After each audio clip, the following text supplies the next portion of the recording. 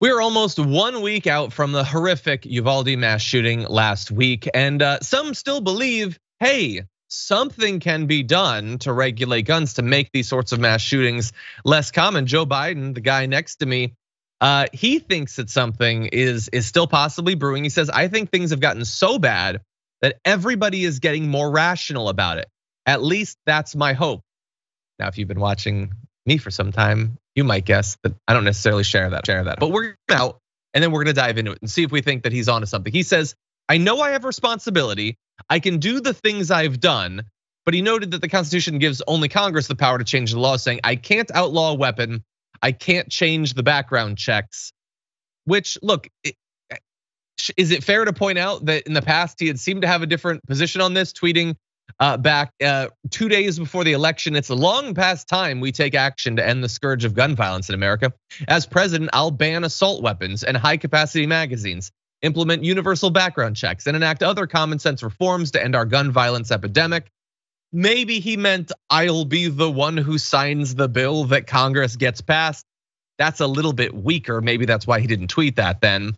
But he says um, he has not spoken with Republicans yet about finding a compromise. But my guess is they're going to take a hard look. First of all, it's been almost a week. The idea that he hasn't even spoken to them yet, Jesus.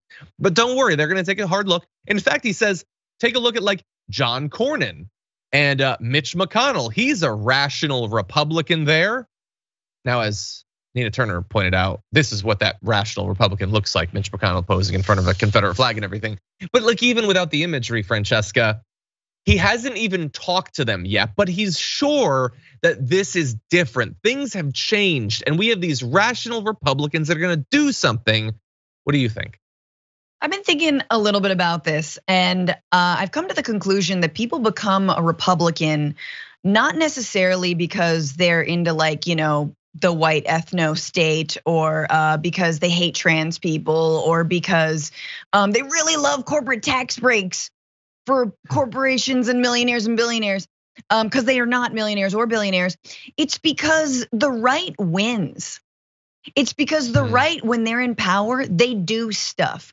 And so if you had a choice, you know, it's it's like it's like being a fair weather uh, fan what do you who are you gonna pick? I know I don't know anything about sports, but you know, I hear some teams are good at them. But like I do know politics. And if you just alien eyes looking at these two two teams, you're like, yeah, I'm gonna go with the team that's like crushing it right now.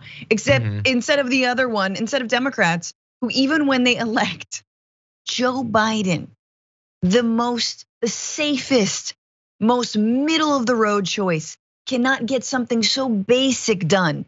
They lose every single mm-hmm. time. And this is such a perfect example of it. My guess is he hasn't even talked about the filibuster yet either, as he spoke about it after the Roe v. Wade leak, because we know what he would say, which is, no, we're not gonna, I don't think we should do away with the filibuster yeah. for this either. Uh, we're not going to do anything.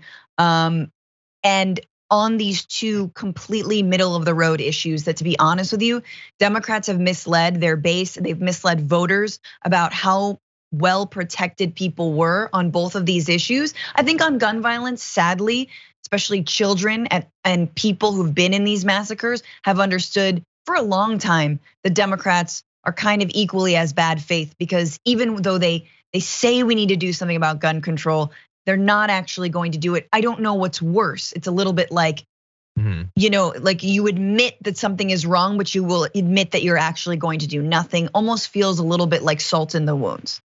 Yeah, yeah, and like in terms of them not doing, like he hasn't even talked to them yet.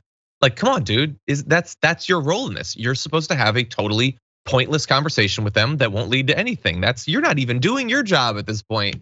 Um, yeah. The uh, analogy that you made to sports, I think, is actually fairly robust in this. That yes, they will follow along with this team, the Republicans, so that when the team scores a goal or whatever, they get to cheer, even though it doesn't do anything for you. Like, like I used to like the Patriots, but like if the Patriots win, maybe I feel good. It's not like my life is better. Nothing has happened.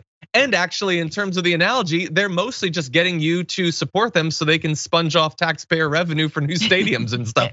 It's actually fairly similar. Um, But anyway, uh, yeah, I, I, agree. And look, they're they're not really trying to do anything either. The Republicans are. Per- that, that's why the commentary about this is a new moment.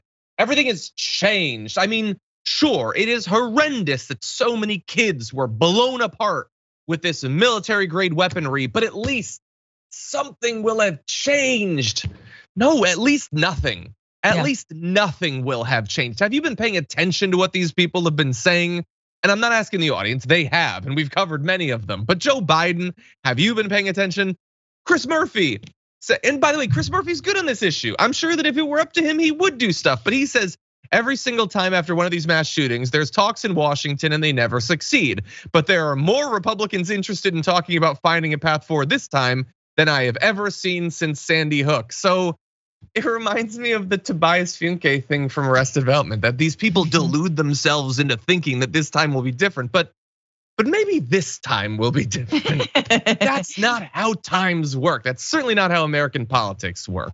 No, especially um, when they go on recess for a week and or whatever it is for Memorial Day right after this happens. Like, can you just postpone that a little bit? Is that going to throw everything off? Wow, their agenda is so packed, John. Because like, swear to God, they were gonna like do something. Like, we're now, you know, it, it would have delayed their delayment hmm. of the um, partial passing of the Build Back Better bill that they will never pass. It will delay. Like, what are you waiting for? What are you delaying? Yeah. What do you have to do? Take this recess for? For.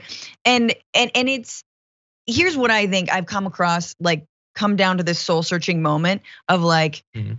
we knew that electing Joe Biden would be exactly this, right? I don't think there were stars in any progressive's eyes about how much he could or could not get done. And I think now we have more in common and it's kind of ripe terrain to actually let some of these middle of the road liberals who were otherwise comfortable who felt like things like Roe v. Wade were settled law, who felt like sure maybe gun control we're kind of lagging, but we're getting there and we've got our, you know, the best interests at heart.